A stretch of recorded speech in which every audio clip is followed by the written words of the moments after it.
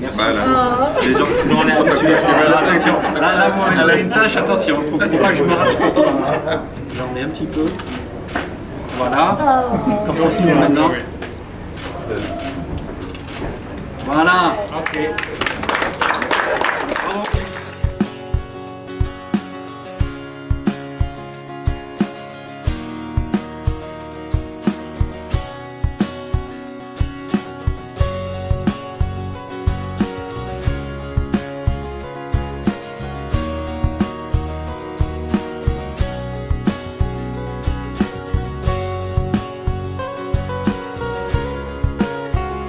Le plan de croissance et de recrutement que nous allons, allons aujourd'hui mener sera un objectif à moyen terme. L'objectif est d'aller recruter aujourd'hui 2000 agents nets d'ici à fin 2026 euh, grâce aujourd'hui donc à la création de, de ce nouveau site qui va nous permettre effectivement de pouvoir absorber cette croissance mais aussi grâce à certaines appétences que nous avons su développer d'un point de vue stratégique au niveau du Maroc en changeant aujourd'hui notre stratégie et changer totalement de braquage aujourd'hui en allant chercher beaucoup plus la partie multilingue qui fait qu'aujourd'hui le Maroc se situe aujourd'hui sur, euh, le continent africain comme étant un précurseur dans la gestion de tous les appels multilingues avec aujourd'hui une appétence de nos euh, ressources au Maroc sur différentes langues à savoir donc les principales, l'anglais aujourd'hui qui est en grosse expansion mais aussi l'espagnol, l'italien, l'allemand et aussi le flamand.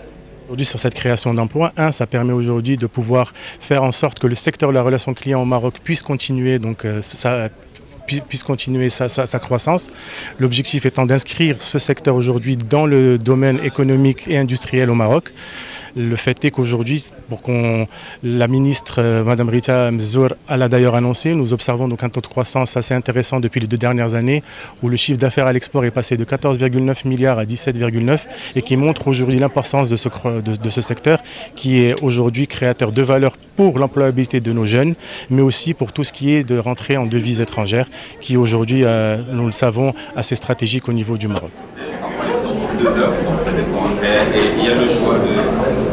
Soit manger ici, soit sortir. euh, Il y a il